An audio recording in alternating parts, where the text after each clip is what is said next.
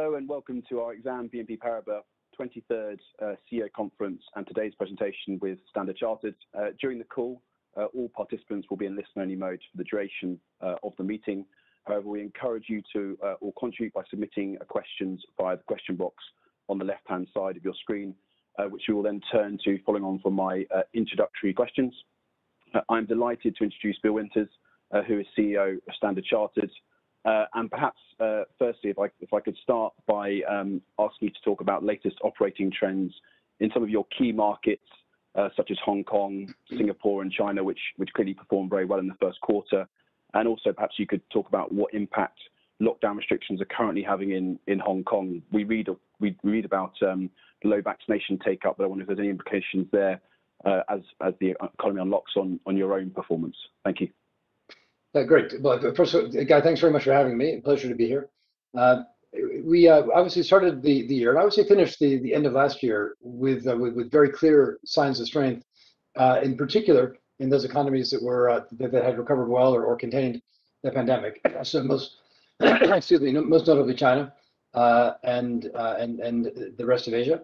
Obviously, things have, have continued to evolve in the first quarter. I would say Hong Kong Uh, has continued to contain the pandemic uh, quite well, and is it's well under control right now. Although your point on vaccine uh relatively slow vaccine rollout is is correct. But nevertheless, the case count is extremely low in Hong Kong.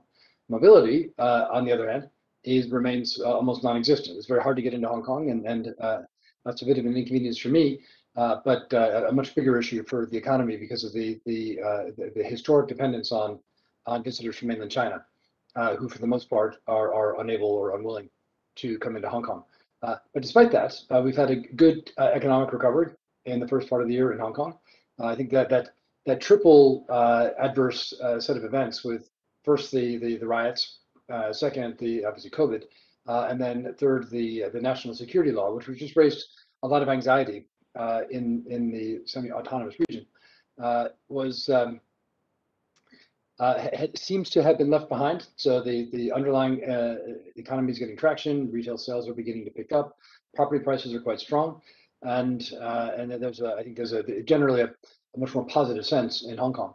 Um, as we as we move around the the globe, but for us, as you get into uh, to Singapore and the rest of ASEAN, the the the effects of a stepped-up restrictions or semi-lockdown or outright lockdown in in, in some markets, uh, like parts of India and uh, and Malaysia, are clearly having an effect. So the, the what was a a budding increase in in consumer spending and consumer confidence has been has been held back. Not in in any sense that we have that it's structural or or or particularly severe. Even in India, where the where the health effects have been absolutely dramatic and quite devastating, in fact, Um, the economy is is, is carrying on. People are finding a way to carry on with their lives, I would say, but for a uh, a period of of uh, three or four weeks where things were particularly acute. Uh, we think the worst is behind us in India. Unfortunately and tragically, the the, worst in terms of deaths probably isn't because of the the lag effect, but the new infection rates are are coming down quite substantially on the back of of mobility restrictions and and increasingly on the on the back of an improved vaccine picture. Uh, but in terms of of our operation, we know we had an extremely strong start to the year, uh, in particular in financial markets and wealth management. We know that that those are seasonal businesses, uh, in most cases, in any case, and the, and Q1 is typically the strongest quarter. We, and I think everybody else, called that out quite clearly in our uh, in our uh, in our Q1 earnings announcements. As we come into the second quarter, some of the underlying underlying trends, I would say, have gone from being extremely supportive to just good, neutral. Uh, so uh, market volatility has reduced, for sure. The uh, the the outright strength in in risky asset markets in in Q1 has gone to something that's more stable. So we would expect normal seasonal patterns to to play out with with a tapering down in Q2.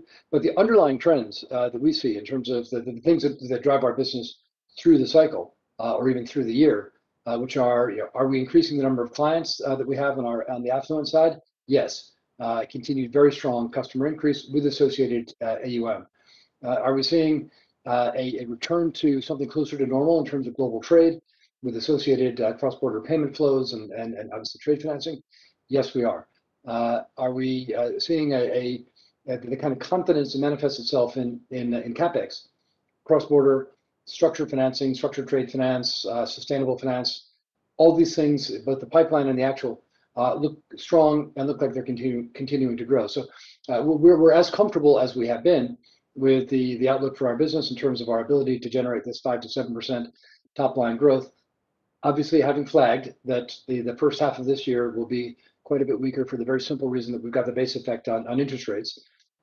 Normalizing for that to the extent that you can, we grew 6% on the top line uh, in Q1, ex the interest rate impact, uh, and continue to think that that 5%-7% is the right range for us uh, for the year and beyond.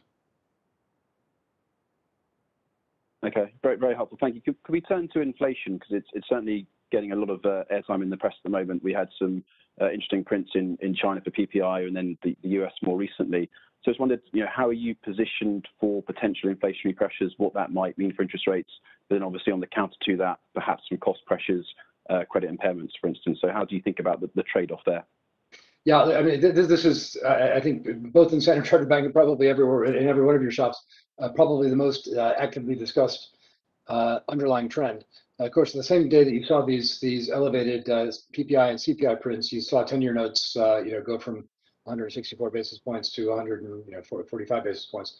So there's a bit of a disconnect between the increasing inflation concerns and in fact, the increasing inflation break-evens in markets like TIPS and the actual performance in the market. Uh, and I would say it's an active debate within Standard Chartered. How are we positioned? Well, we have a relatively short duration of our uh, of our assets in our treasury portfolio. Treasury portfolio is very large. Uh, we took some gains in the first quarter of this year. Uh, we've guided that those gains are unlikely to be repeated. Uh, obviously, we got value in the portfolio, but we're unlikely to have additional material realizations in the very near term. So you could say, great, we're relatively short duration in an environment where, yes, there has been a bit of a rally in the past few days. But if you're really concerned about inflation, then then we're well positioned for that. At the same time, we said that we're going to sweat our treasury balance sheet. In fact, our balance sheet more broadly, but in particular our treasury balance sheet, we're going to sweat it uh, much more actively, including uh, the possibility of extending duration of of assets and increasing our structural hedge. Uh, as we recognize and and are further analyzing the stickiness of our of our deposit franchise, and in fact, as we're increasing that deposit franchise just by volume. So how are we positioned? I'd say neutrally. If we have an increase in rates and a steeper yield curve, that's going to be a good thing for us. And if it doesn't have the material economic impact, of course, if it does, then then there's a there's a, a different question around around economic growth and the vibrancy of some of our markets. But uh, yeah, I'd say we're neutral to positively positioned. Uh, we're not particularly concerned about inflation in the short term. Uh, we we buy the Fed line. It's hard for me personally to imagine that we come out the back end of this whole exercise without a period of super normal inflation. Uh, uh, but even that is heavily contested in the market, and I don't pretend to have a better view or a more informed view than anyone else. Uh, but uh, oh, clearly, a return to normal interest rates is going to be a very good thing for Standard Chartered and many other banks. I think we paid probably a somewhat disproportionate price on the downside for all the reasons that we explained at the full year and Q1. And we would expect to have a meaningful recovery if we had a return to normalization, but we're not expecting that in the next couple of years. Okay. Very clear. And turning to other operating income and wealth in particular, it's obviously been a very strong engine of growth in recent quarters, in Q1 in particular. I just wondered, how do you assess the outlook here given that sort of continued good quarters, but at the same, you know, and a very helpful demographic? But At the same time, we hear a lot about competition, a lot of people investing in this market. So how do you think about the outlook as a consequence of those factors? Yeah, I feel as good about it as I ever have. You know, we've been growing at high single digits, low double digits in our wealth management income Uh, for the better part of a decade. Uh, we've stepped up our investment in that area, both in terms of customer service and and uh, client outreach and in terms of products and and clearly in terms of digitization. All those things are paying off. So we know that the wealth income, in particular that market sensitive component of wealth income, which is between half and two-thirds of our portfolio. We know that that's that's quite seasonal and also very vulnerable to swings in market sentiment. But the growth has been very consistent for us from year to year to year, uh, if not from quarter to quarter. Uh, Q1 super strong, Q2 probably a little bit less strong, but the underlying uh, growth in number of customers, the AUM that they're bringing is very good.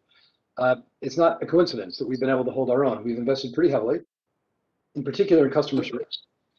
So both preventing errors or mistakes in the first place, Uh, but also, and uh, maybe most importantly, in responding very quickly to anything that comes up. So you know one of the measures that we use, I think they're commonly used in the market, are these third-party Net Promoter Score surveys, uh, where for our affluent client population, we've gone from being reasonably poor five or six years ago to number one in six of our top nine markets and top tier in all of our top nine markets. And that's the best indicator that the investments that we're making Uh, are uh, are resonating with with clients. They're they're happy to use us. They're using us more and more. They're also happy to recommend us to their friends uh, and to their family. So when I joined Standard Charter six years ago, the most, well, I got a lot of questions about the problems that we had, but but in terms of the the way forward, exactly the question, Guy, that you asked, hey, Guy, hey, it's this is it's become super competitive. You know, why can Standard Chartered Bank hold its own? Well, it was super competitive uh, 10 years ago. It was super competitive five years ago, and it's super competitive today. And we've just done better and better and better because it's been an area of focus for us. So am I concerned about the next wave of competition? Yeah, of course I am, because you always have to worry. Our competitors are are good. They're clever, and they're becoming more focused. But we're extremely well positioned to take advantage of what, what is fundamentally a super attractive uh, market opportunity, and which we've done very well on uh, in in the past several years. On financial markets, so you sort of talked about it a bit in your, some of your opening comments, but perhaps you could expand. Um, So you know, you talked to a slight normalization in terms of activity, but equally, it's been a good sort of underlying growth area, one, one might say. So how do you think about that looking forward? You know, are you confident you can still deliver year-over-year growth against what are some quite tough benchmarks? Yeah, Q2 was the was the high watermark last year. It was an extraordinary quarter. Obviously, it was the quarter when the pandemic uh, kicked in, and and there was a massive interest rate adjustment and all that. So that that year-over-year, obviously, would be very, very hard to sustain at a at a growth rate quarter to quarter. Uh, the uh, but from year to year to year, can we continue to grow this business? Absolutely. And you know, we, I would say our business was underperforming four years ago. Uh, it has steadily improved since then. I don't know whether we're on market or ahead of market or a little bit behind yet, but the the opportunity for us comes from from these very key positions of strength that we have. Very strong position in local markets across our emerging markets. The most important of those is China. Uh, we're, I think, by any measure, the the leading international bank in cross-border dealings uh, in China and hold our own vis-à-vis any of the Chinese banks as well. Uh, and that's come on the back of of a long period of substantial investment, very good profitability, excellent research, uh, a clear commitment to the opening up of China, and all the complementary services around the financial markets element of of RMB dealing. So we're the leading uh, leading bank in in Bond Connect, which is the mechanism through which many of your clients and many people on this call are investing in China into the fixed income markets.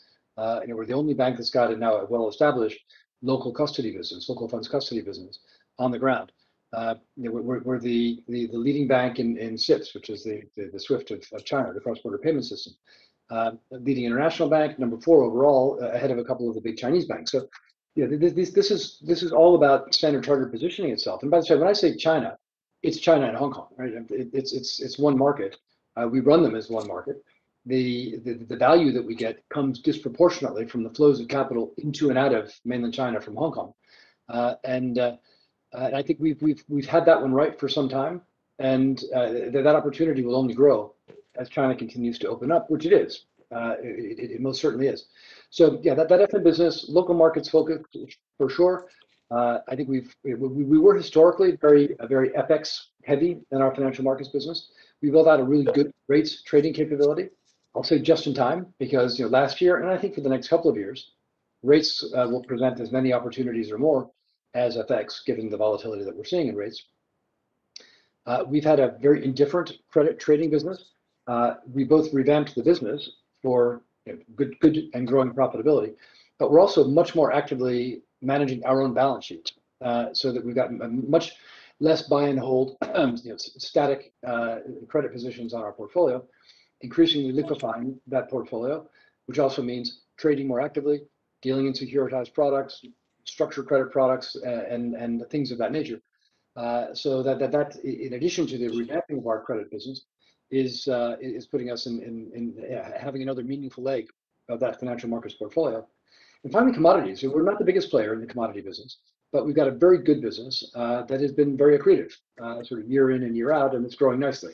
So in each of these areas, uh, as we continue to transform our bank, continue to focus on on delivering our corporate clients full range of of the capabilities of our bank, together with the improvements that we've made in the underlying products and services, I think our FM business has a long a long uh, period of growth ahead of itself, recognizing, as we always have to caveat, it's going to be bumpy from quarter to quarter. And, turning then to um, costs. In some of the regions you operate in typically have higher wage inflation than certainly some Western markets. And as we talked to you before, at a global level, there are some some inflationary pressures potentially coming through. So, do you see a risk um, to be able to contain costs below revenue growth? Uh, and if so, what sort of incremental actions can you take on the cost side to, to offset those pressures? Yeah. And, and that's always it's always a challenge. I'm happy to say that we've met that challenge uh, certainly every year since I've been in the bank. Uh, I think the cost discipline is very well instilled. Uh, you know, we managed to absorb all of the inflation, all of the wage inflation, uh, and absorb a significant increase in our investment budget while keeping expenses flat for five years. Essentially flat for five years. We don't intend to keep our expenses flat forever. We've said that we'll keep our expenses below inflation, or at or below inflation, which which should Uh, leave a significant positive jaw gap to the 5%-7% income growth uh, that we're talking about. Uh, how do we do that? Initially, there was fat that we could cut, but we also began our our investment program in earnest. A lot of the initial investment program was defensive, so was investments in financial crime compliance and things of that nature. There's still a meaningful defensive component. It shifted away from compliance now much more to cyber and data protection for all the obvious reasons. Lower magnitude, certainly than the than the compliance investments that we made, but nevertheless meaningful.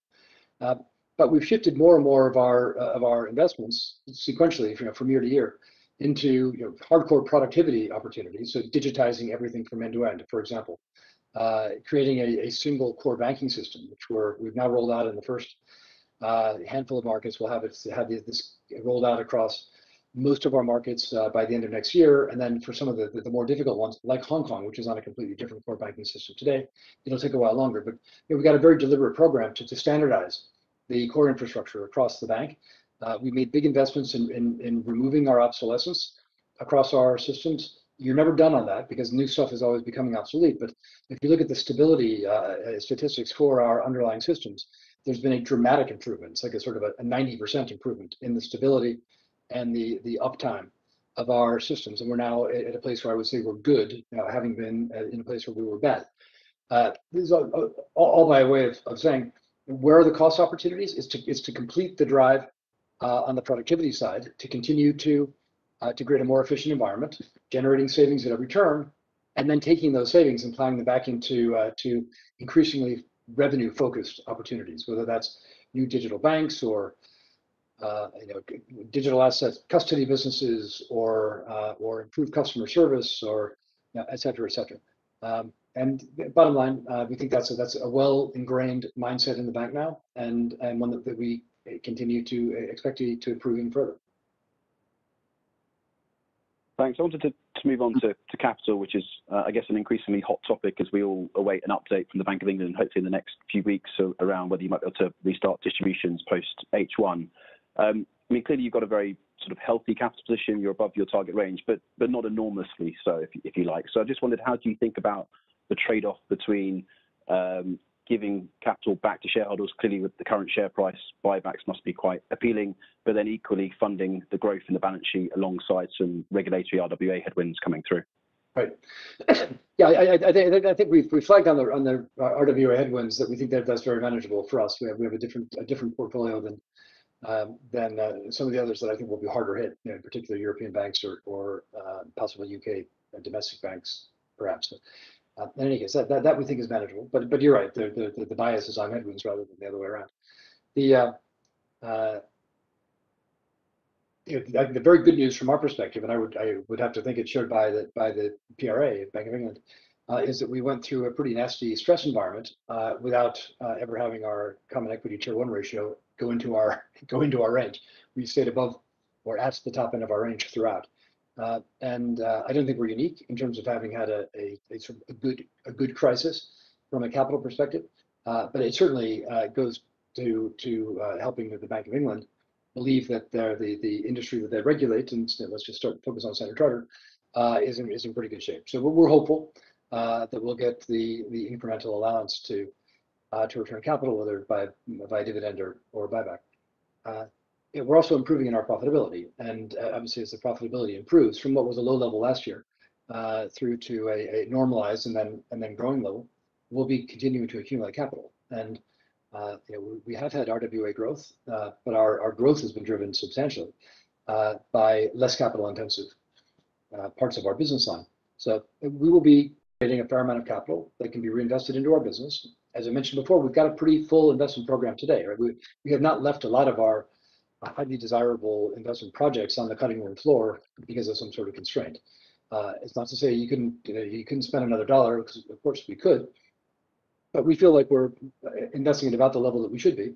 But the question is, is uh, will there be things that are that are more important or more attractive strategically, that are incremental to our current investment spend, that we should be investing in rather than returning money to shareholders? And as as we said uh, in February and then in uh, April, uh, we will have a very keen eye to the alternative uses of capital, not least the return to shareholders via buyback, with incremental capital that's available. Now, you'll ask at some point, no doubt, about the Citibank portfolio, and there are some interesting assets in there. And we, and I'm sure a lot of other people, are looking at them. We'll look at them. Uh, if the price is right, and the price needs to be right in the context of that I just mentioned, which is what the alternative use of capital is. The price is right, uh, then there could be something that we could do. Uh, and if the price is not right, we don't need to. I mean, we don't need to buy further business in India. We've got a good business in India today. It's improving dramatically, and we don't need to buy another business in Thailand. Well, in fact, we sold our business in Thailand, but in Taiwan. the, but, But there would be interesting opportunities for an add, uh, if the if the price is right and the terms and conditions are right, and obviously, if, as we review those assets, uh, if it looks like uh, that the fit is as good as it appears they might be, from what you can see from the outside. Um, but we're sitting here with a share price at, know, below 5 pounds, and and we recognize that there's there's other uses of our capital that our shareholders might prefer. Thanks. Uh, last question from me before um, opening up to the audience-submitted questions. I just wanted to turn to ESG. Um, given your geographic footprint, the business mix, um, you know, one could say Standard Chartered is particularly exposed to climate change and managing that transition risk for the businesses which bank with you. So I'm just keen to understand, you know, what you view as the key competitive strengths for Standard Chartered to mitigate this risk and really ultimately turn it into an opportunity? Yeah. Well, I think you're right, Guy. It's one of the bigger risks uh, for a bank like ours. It's also one of the bigger opportunities. The risk is obvious. Uh, uh, the the many of the markets where we operate, so start with Sub-Saharan Africa, big chunks of South Asia, parts of ASEAN, don't have the financial resources to protect against a, you know, a 2 or much less a 3% increase in temperatures. Uh, in terms of uh, flood defenses, uh, you look at the number of coastal cities in Africa that more than a 1 million people that would be severely impacted by that kind of of temperature increase. The inability to to survive in in important parts of India or Sub-Saharan Africa from a temperature perspective. Um, so the risk to our portfolio and our clients is real from climate change. And we've all seen that that could materialize Uh, sooner rather than later, even though the worst of the effects would most certainly come later. Uh, uh, the the the flip side of that is opportunity. our, Within our markets, we have some of the biggest emitters in the world and the biggest financing gap between what they have available to them and and what they'll need to affect their own versions of a net zero transition. So we've been we've been very upfront on this. We've been quite vocal publicly and privately for four years now about uh, both the risks and the opportunities. Uh, we've got clear guidance on in terms of what we'll do with uh, with companies that are reliant on coal.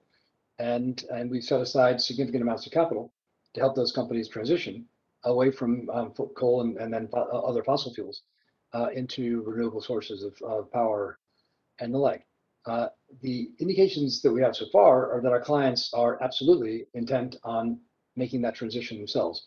Not because we told them to, although I think that probably helps on the margin, but because they realize they don't really have a choice. And I'll just quickly reference a piece of research that Standard Chartered came out with in the last couple of weeks. It's called Carbon Dated.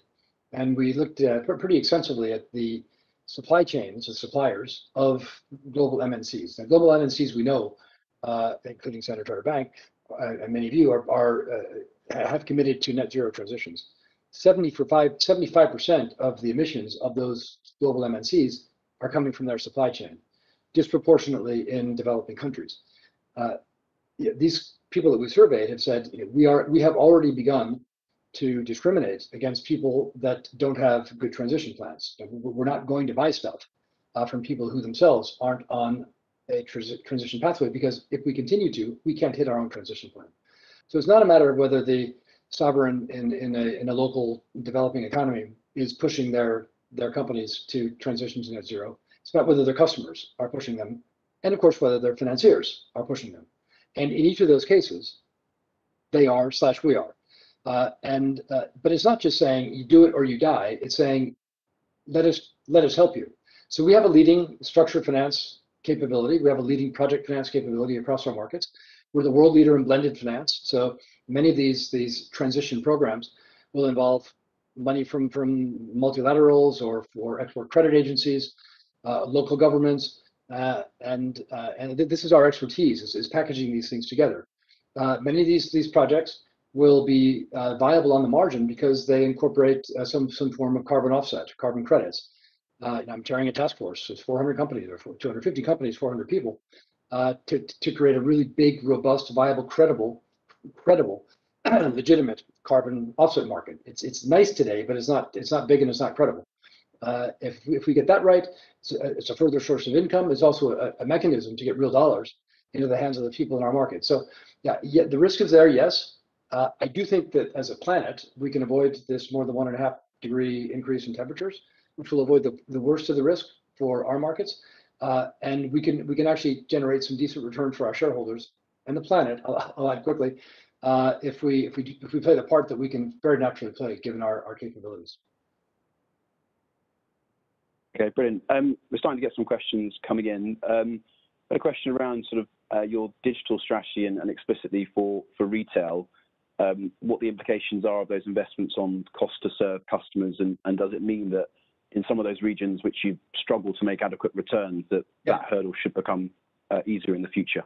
That's right, and and it's uh, it's already making a huge difference. I mean, we, we had as we called out with the, the, the, four markets that we called out uh, you know, two and a bit years ago uh, that were most in need of remediation. We, we called out Indonesia, uh, Korea, uh, the UAE, and India. Uh, the, the challenge was overwhelming on the retail side. And in each case, because we were to varying degrees subscale in, in the market, but with a with a like a fully scaled fixed cost base. And each of those markets has returned to profitability. Indonesia is different. We, we, we sold the, the, bulk of that business in the form of Permata. Uh, but each of those businesses has returned to profitability, as has China, uh, which wasn't in our, our troubled country list, but the, the, the momentum in China has just been fantastic on the retail side. Why? Uh, part of it is a shift from uh, from you know conventional mass market banking products to affluent and wealth. That's that's helped in each of those cases. Uh, but much more importantly is the the cost improvement that's come from from digitization. So uh, we we rolled out I mean almost three years ago now uh, a, a, set of digital facilities in, in India that allowed us to onboard a customer in typically under seven minutes, uh, no human contact, end to end. Cost of acquisition went from something like $100 per account uh, to something like an initially $17 account, now down to $7 an account. And the what we're finding is that the average balance that comes in uh, on on these digitally initiated accounts is actually higher than the average balance on on the, the, the accounts that had been historically opened through branches or through third-party sales agents or uh, so lower cost of acquisition, much lower cost to serve. Uh, the, the, the, entire service menu now for all of our core uh, digital banking offerings, uh, mobile banking or whatever, uh, uh, the marginal cost is close to zero, uh, and virtually every service is, is able to be obtained on the mobile phone.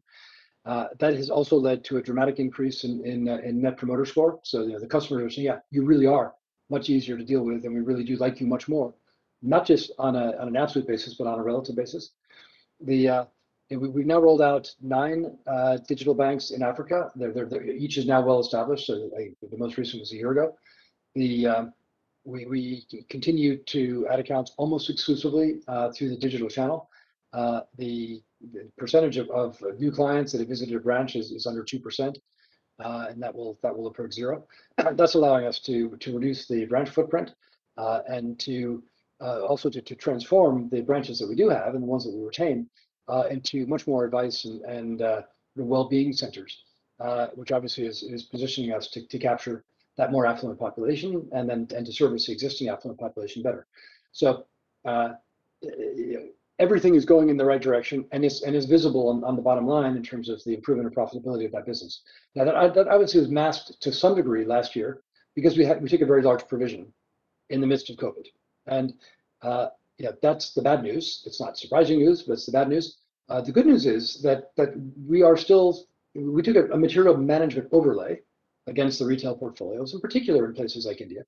Um, and while it's too early to say that that that they were over-provided, and we we wouldn't say that, and we haven't said that, uh, the indicators are actually pretty good in terms of of the actual loss rates coming through relative to what we feared could be the case uh, as we got into the early stages of the pandemic. So normalized for the for for the uh, the loan impairments, and that that business is is really going from strength to strength and is a substantial you know, true cost of capital returner. Um, But then that obviously isn't the beginning of the end of our of our digital ventures. Uh, uh, take a market like Indonesia, where we're absolutely subscale. We've got a nice little wealth management business, uh, very small mass market business. And um, we said, okay, we could we could build that out the way we have some of our other retail businesses. But that's going against entrenched competition with yeah with a disadvantage in terms of number of branches and a relatively high cost of acquisition. So let's take a different approach. And the approach that we've taken is to, in the first instance, uh, partner with the the largest e-commerce platform in Indonesia, Bukalapak. Uh, they've got over 100 million customers, growing super fast. Uh, and we built a technology platform, which is now live. It's we're now dealing with with customers.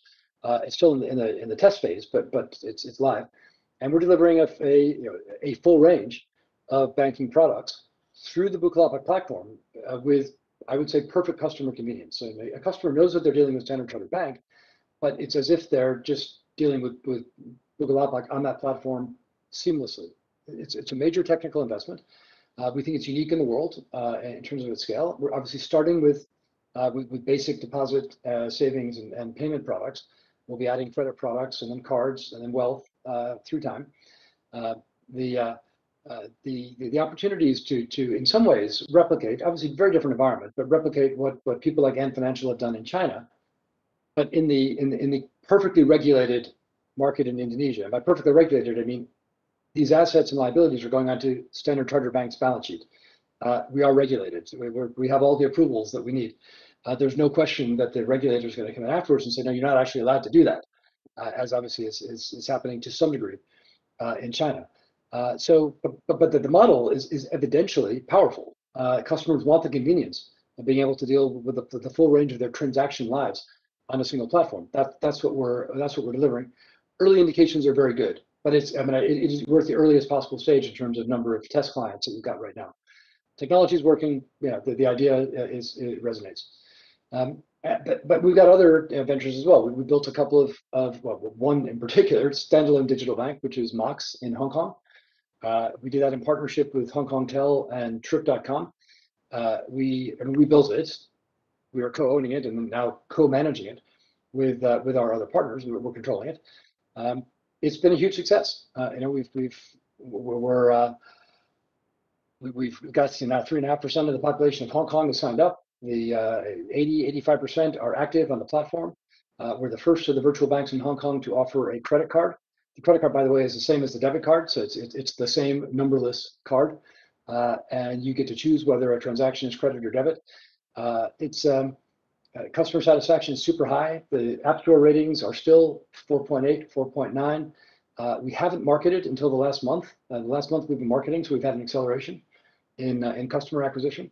This is very exciting. And it'll be a little while before we get to to to break even and beyond.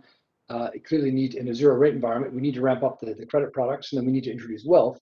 And, and frankly, we need mobility to come back because a big source of income is always going to be these FX and associated things, FX and insurance, coming from people's travel, which is approximately zero in Hong Kong right now. But that will change. We all know that. So I feel very good about that. Uh, so good, in fact, that we're going to take that that tech stack and and put it into our digital bank in Singapore. Uh, regulatory approval, uh, assuming that we get the regulatory approvals, every indication that we will. Uh, the uh, we have not announced uh, our partner in Singapore, but it's as impressive as as Hong Kong Tel and, and Trip.com, in our opinion. so so you know, feeling good about the opportunities there. Very different market, so it'll be a different proposition, but off the same basic tech stack and we're doing other things. And we, we uh, in fact, just got the approvals this week uh, in Korea to, there's a, there's a bank that we've been co-developing with Toss, which is the ubiquitous payments platform in Korea. Uh, they control, Toss controls us, we're a minority investor, uh, but we've been building, uh, we've been involved in the building all the way through. Uh, yeah, it's it's got its final permissions now. That that launches now, a, a standalone digital bank, but obviously leveraging that payments platform in Taiwan. Uh, we've gone live with uh, with a, similar standalone digital bank with with Line, uh, so sort of the ubiquitous messaging platform. So these are all very exciting. Uh, you, could say that any one of them is an experiment, uh, but they're clearly different ways to skin the same cat, which is to deal with to, to get access to the, some of the fastest growing markets in the world with good returns while addressing our scale advantage, either by saying, yeah, we'll take a smaller stake in somebody else's large scale platform, or uh, at the case with Hong Kong, uh, we'll create a disruptor ourselves uh, that that can uh, can be a challenger to the people that have a larger mass market uh, exposure today. Okay, thanks. Certainly uh, a lot of initiatives going on. Um, I had another question back on costs, and I think for time this might need to be the last question. So back on costs and specifically on pay and performance-related pay, given quite a few banks around Q1 and, subsequently during conferences have, talked about some uh, pressures there, uh, and, whether you see this as, a risk. I guess, you know, do you see this as a, transitory uh, issue given the sort of pace of recovery coming through, or, could this be a sustained um, uh, pressure on your cost line? Well, I, think there's a few, uh, a few, a few ways to look at this. We indicated in Q1 that if, if performance uh, remain very, very strong, then obviously we'll have a, have an uptick in, in performance-related pay, uh, and that could be a thing that would that would cause us to uh, to grow our, our expenses a little bit faster than would otherwise have been the case. I don't think that's any surprise to anybody. Uh, I will also say that our our uh, pay to uh, to profit ratio is, starts relatively low, and we're relatively insensitive, not non-sensitive, but relatively insensitive, just given the nature of our business. So we're, we're not uh, the bulk of our business is not investment banking, where the where the the, the linkage is much stronger. Um, so that's number one. Number two is uh, there, there, clearly is a stepping up in uh, in the in the competition for talent.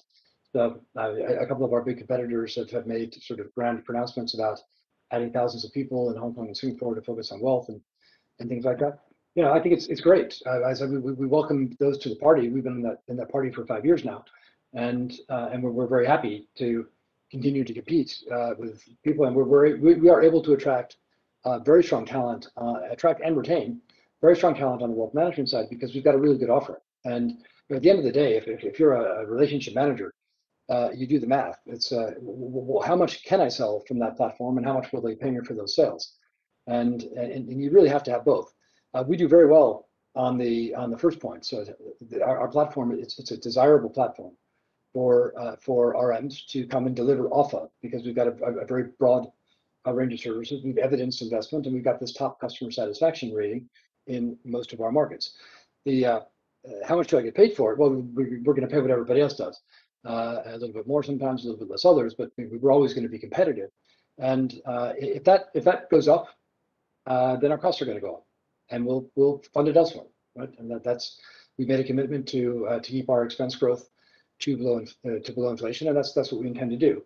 And we have levers that we can pull. I mean, if, if the competitive pressure drives up our wages as one part of our business, uh, which has not been the case yet, uh, just for the record. Uh, but if it does, then uh, to the point where, where we need to, to address it, we will. We'll always defend our, our core strength. Uh, thankfully, we don't always have to do that with money. we can do that with, with the offering that we have for these, these colleagues in the first place. Brilliant. I think we have run out of time now for uh, today's main room presentation. So I'd just like to say thank you very much, Bill, for some really interesting comments there today, uh, and to the rest of the Standard Chartered team uh, for joining us at the Exane BNP CEO conference. Uh, as a reminder, the, the, next fireside chats will be with Veolia and Adecco. Uh, I hope you enjoy the rest of your day and any other meetings you're attending. Uh, so thank you for listening and thank you very much again, uh, Bill and, and the team for joining us. Thanks. Thank you, Guy.